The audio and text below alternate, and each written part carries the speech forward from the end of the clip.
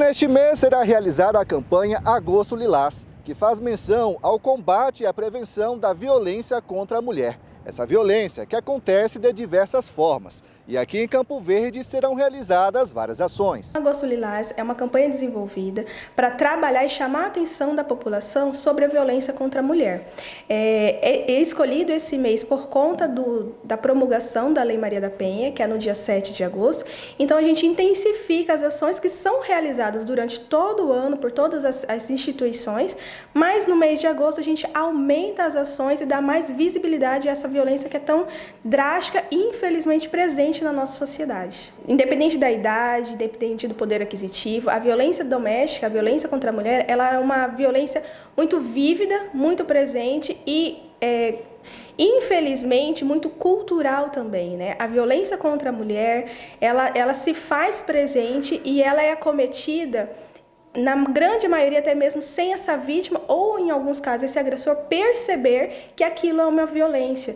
É, palavras ações atitudes comportamentos que na grande maioria a gente entende que são é, normal corriqueiros, comuns, podem ser sim uma violência doméstica.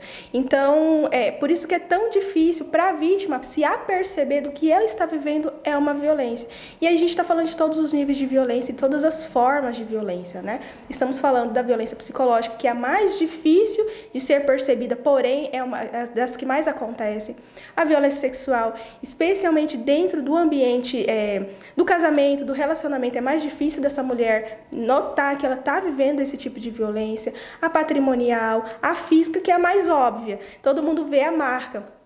Mas ainda assim, para essa mulher entender que aquilo é uma violência e que esse agressor ele vai fazer de novo, independente seja relacionamentos homoafetivos ou heterossexuais, que ele pode fazer isso de novo ou ela pode fazer isso de novo, é, faz com que demore tanto tempo para essa mulher buscar ajuda. Por isso que nesse mês de agosto a gente intensifica, fala ainda mais sobre quais são as formas de violência, o que, que é esse tipo de violência, para que essas mulheres e homens que aquilo que eles estão vivendo seja violência e onde buscar ajuda.